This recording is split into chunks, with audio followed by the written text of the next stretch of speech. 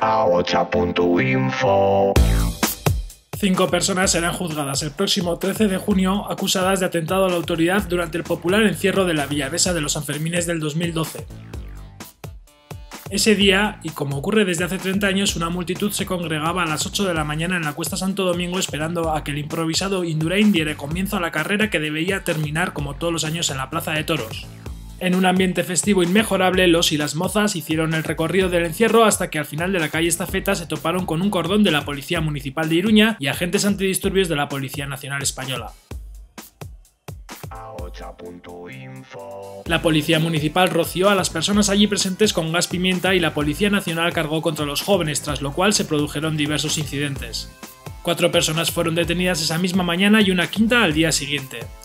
Las personas arrestadas consideran que UPN no admite actos que estén fuera de su programa, lo cual demuestra cuál es su modelo festivo para la ciudad, en el que no cabe la participación ciudadana y que desprecia a una gran parte de la ciudadanía de Iruña, según denuncian.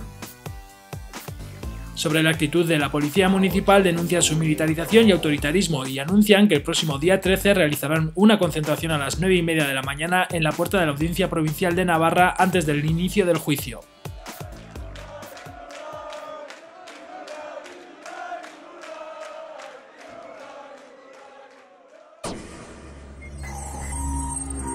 a